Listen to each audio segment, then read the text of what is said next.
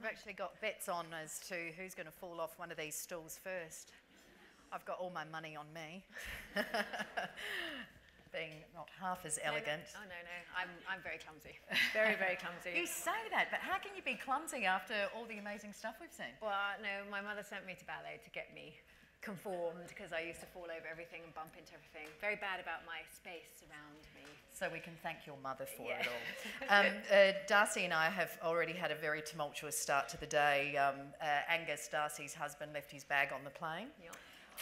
Um, I went to a completely different hotel uh, for this lunch. So uh, when I discovered that no one was there, Darcey's without his lap, um, Angus is yeah. without his laptop, And diary. and now wallet is missing. Yes.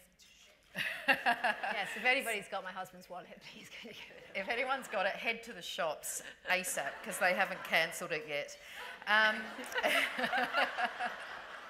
don't, I'm joking.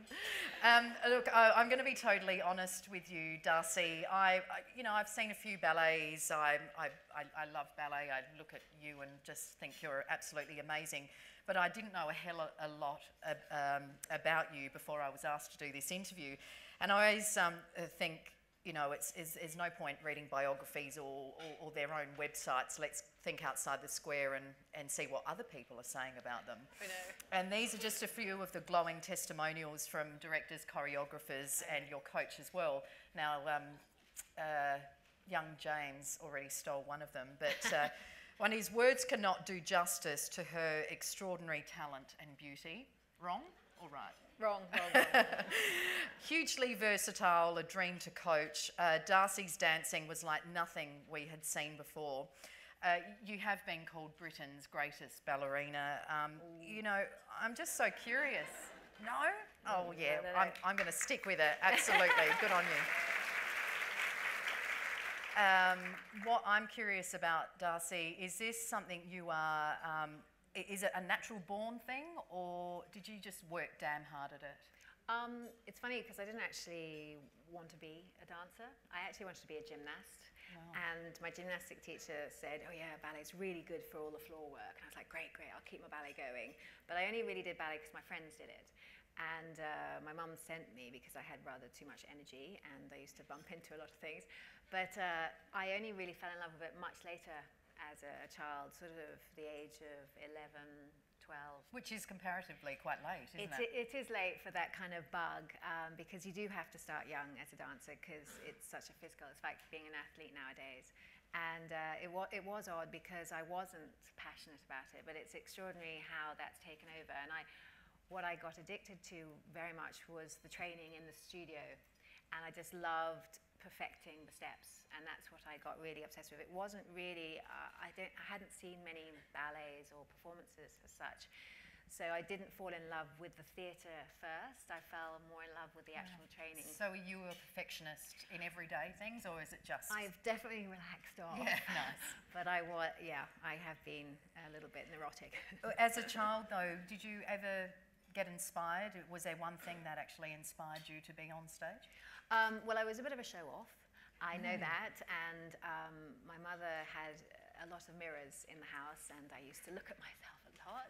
and, and, and I do remember being told off by my dad to say that, you know, I'm going to cover every mirror. If you don't speak to me, not through the mirror, at my face. Like this. I used to go, so anyway. Oh no.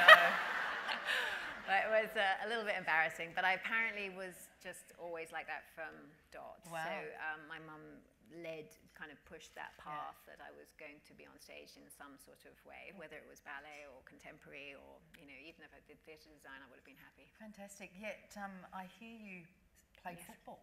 Is, is I did true? play, yes, I did play football, yeah. Well, I did like the boys as well.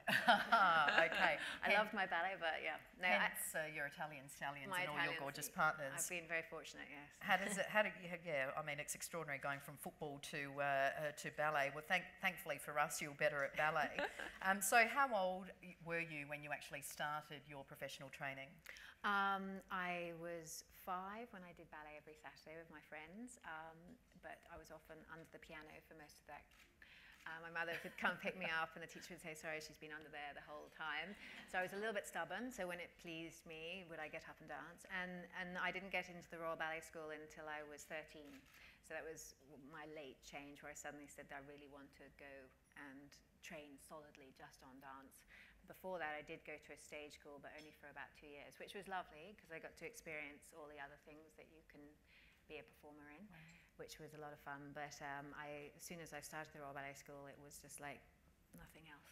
And Royal Ballet didn't actually last that long. You eventually got uh, um, the late Sir Kenneth MacMillan's attention. What uh, yes. talk us through that process? When I was 16, we, we would do this school performance, and uh, one of his works was being done in our school performance, and I didn't appreciate it, but he actually chose me for that role. And it was it was very young to have a main role in a school performance because I had another year to go at school, and. Um, it was just extraordinary because he'd seen me then and it kept me in his mind until I left school. And then I went to the touring company at the age of uh, 17, 18, and I was with them for a year. And he came in and said, Okay, I want you to create this new work with me. Wow. And what was that? The Prince of? Prince of Pagodas. Mm. And uh, this was just like you know, I, I don't think I felt numb. I didn't actually believe, and the director I was with was Sir Peter Wright, who was just the most amazing guy. And I actually felt very sad about leaving the touring company, which was known as Sadler's Wells Royal Ballet. And I'd only been with them a year, and I'd learned all their repertoire. So their production of Sleeping Beauty, their Swan Lake, their, so everything. And then suddenly I had to leave and go to the resident company, which was the Royal Ballet, and work with Kenneth, but then learn a whole new repertoire so another new. But you had quite some time to learn that repertoire. Wasn't there a year between the performance? But, but yes, we actually worked on this three-act ballet for a year, but that was because of Kenneth's health. He wasn't very well, but it gave me a chance also, I think, to get settled within the company because nobody knew who I was. I just got kind of taken from the corps de ballet from one company and made a soloist to come into the resident company. So it was all a bit kind of bang, bang, bang. So you must have done a pretty okay job because you were made a principal at the end of that first show. Yeah, which was another. I actually said to the director, "Are you sure? Are you sure?" Uh, he did it on stage as well in front of the whole company, and I was just really taken back. I couldn't believe it. And I think it took uh, one thing I think that's helped me through my career is it's always taken time to let anything sink in. Yeah. So I, I, don't go into total shock, and it just builds. yeah no, it was uh, an amazing time. But it obviously shows why you're grounded. I mean, have you always sort of, uh, not in a negative way, but doubted yourself and perhaps, you always. know, yeah. Yeah, always. I, I think it's part of the nature of being a dancer. You, you're never satisfied and there could always be something better and are they sure about that and should I be doing this role or I don't want to get typecast and you know, you're constantly doubting mm. yourself. It's uh, I think but I think that's probably the you know the key to success in life anyway yeah. is to, to doubt yourself and to strive for Keep perfection, pushing, which yeah. you clearly pushing. have done. Um, and the youngest ballerina in the history of the Royal Ballet to be promoted to principal is it, that was at the time. Um, yes, at the time. I mean, the Royal Ballet as such, you know, there was uh, when the Royal Ballet first started in 1931. Uh, it was this smaller company. It was a different company right. then.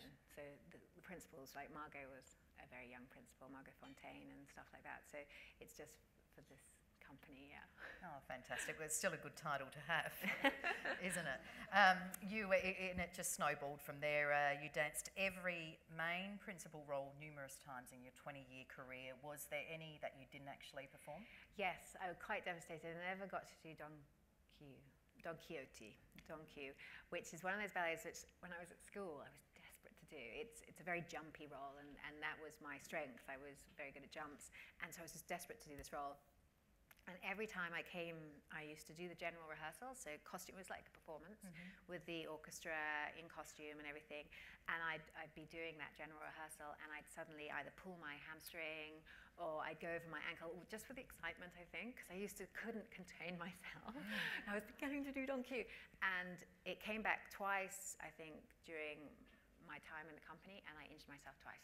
Oh, which was, and that just kind of goes with the uh, the background of being a dancer because it's that physical. You you just have to pace yourself on some things, and I wasn't very good at that. Do you feel like your career's not complete because you haven't done Don Q? No, well, at least I got to perform it in the general, and that oh, was that was okay. with an audience. So they they they they're called like the friends, yep. and so the kind of the nicer audience. Oh, good. So you got to do it at least. Yeah, at least I did. Um, Just couldn't move the following day for a few days. Yeah.